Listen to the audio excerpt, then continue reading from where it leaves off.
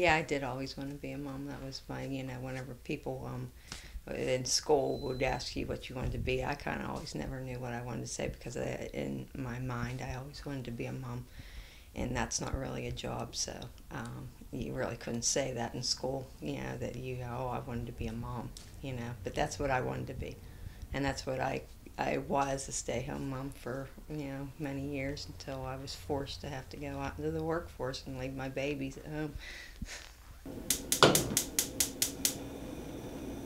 And I really, when I work experience started, I um, worked for my father had a um, print shop, and I um, worked there for like around ten years until I had my um, actually my second child and um, then I quit, and then I was a stay-home mom for for many years.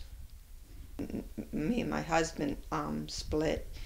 Then I moved on to um, I had was forced to get a job, and I got a job working for a company called McKamish. They're a mechanical contractor, and I started at part time, and um, only a few hours um, a week and um, slowly built myself up and actually now just got a promotion into being a purchaser.